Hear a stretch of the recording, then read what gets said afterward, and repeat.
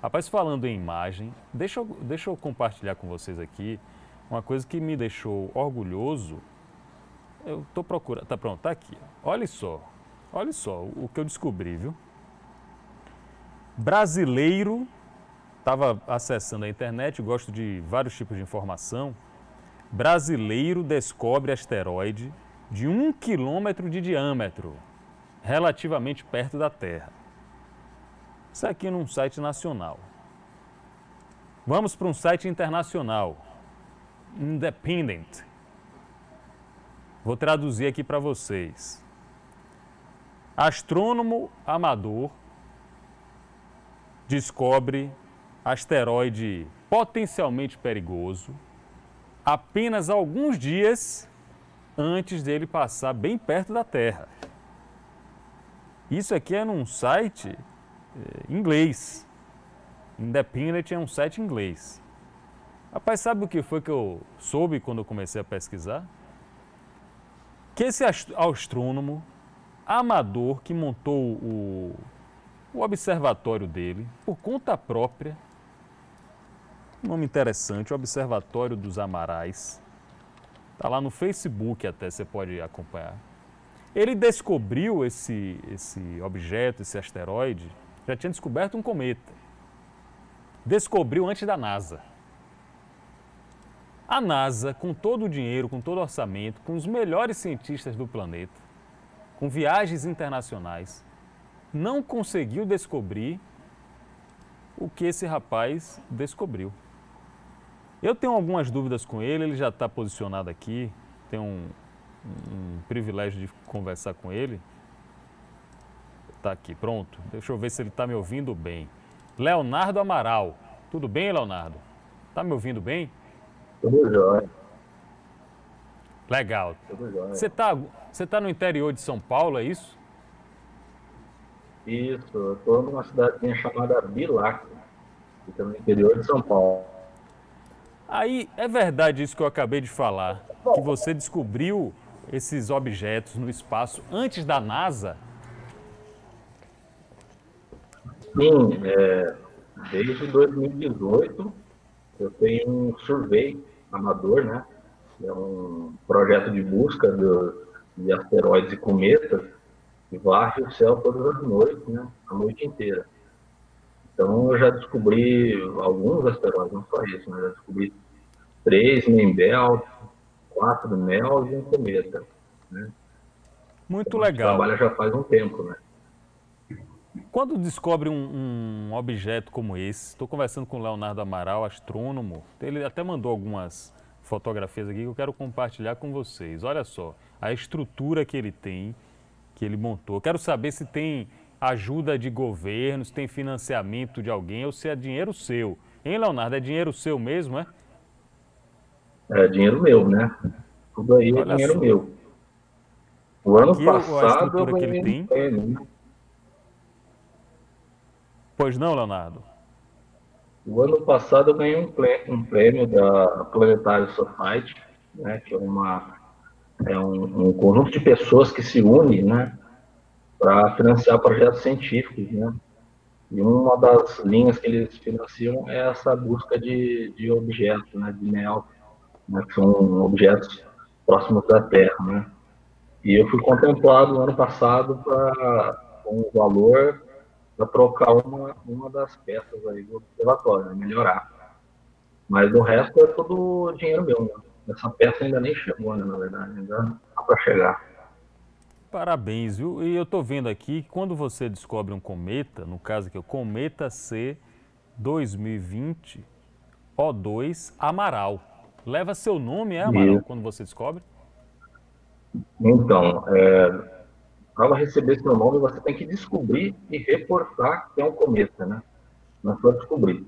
Então, quando você descobre, você manda as informações para o site do MPC, que é o Minor Planning Center, que é quem organiza toda essa parte de receber as, as informações, as observações, né? E você, além de enviar esse objeto novo, você tem que falar com o cometa, né? Falar que você viu o coma, né? Você viu a cabeleira do cometa E, e aí, a partir daí, se você for o primeiro a reportar o objeto e o coma, aí você vai receber, vai ser, o objeto vai receber o, o nome do seu sobrenome. Parabéns. Eu tenho aqui a página também, ó. Observatório é essa página aqui, Campo dos Amarais. Está no Facebook, você pode acessar, arroba Observatório Campo dos Amarais. Você pode acompanhar muito desse trabalho aqui, vou até logar daqui a pouco. E eu quero saber de, de Leonardo, é muito comum a gente ter objetos que passam próximo da Terra, mais próximos do que, por exemplo, a Lua?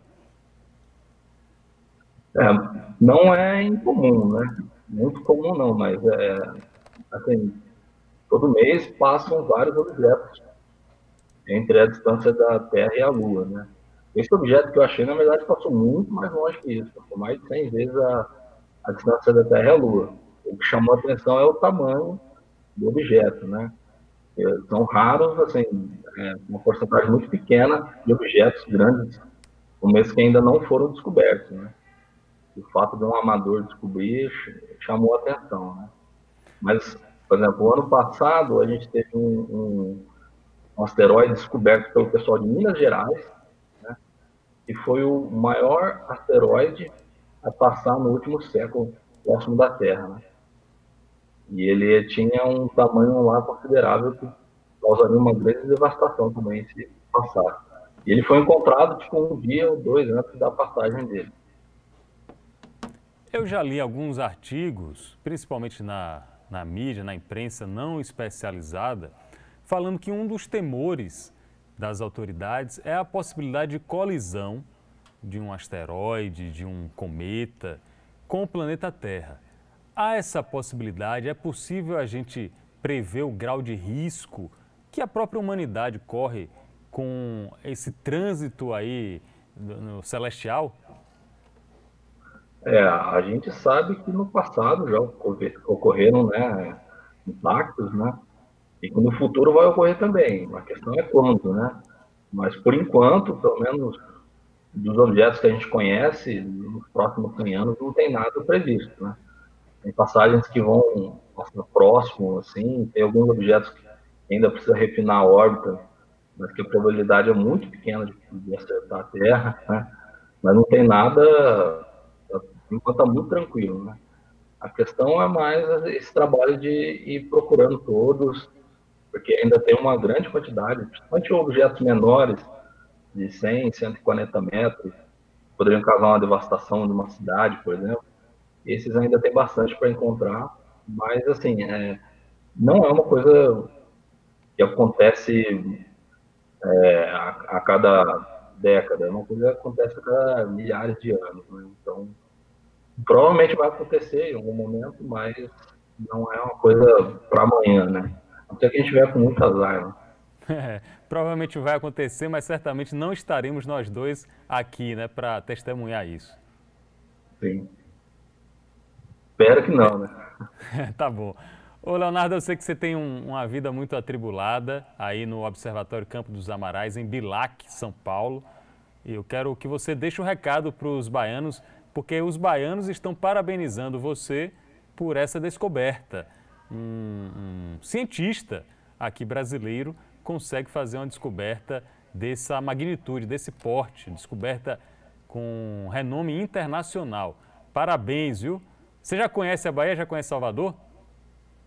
É Salvador não, mas eu já fui duas vezes aí na Bahia, né? Eu fui uma vez para pescar e uma outra vez eu fui na, na Chapada Diamantina. Bom lugar, bom lugar para conhecer. Então seja bem-vindo. Quando quiser vir de novo, vai ser muito bem recebido. Parabéns, Leonardo Amaral, astrônomo amador aí do Observatório Campo dos Amarais em Bilac. Um abraço, obrigado, viu? Bom trabalho para você. Abraço, abraço, Pablo. Tchau, tchau. Valeu, conversei aí com um jovem que colocou seu nome, marcou seu nome na astronomia mundial. Tá aqui, ó. Não é, não, não é notícia nacional, não. É notícia internacional. Astrônomo amador ele descobriu o asteroide potencialmente perigoso alguns dias antes dele passar perto da Terra. E está acontecendo aí, todo dia tem um, algum objeto desse que passa por perto da Terra. É muito legal que mais pessoas sigam esse caminho que, que Leonardo seguiu, porque quanto mais a gente conhecer sobre esses objetos, mais a gente pode estar prevenido a respeito das consequências que eles podem provocar.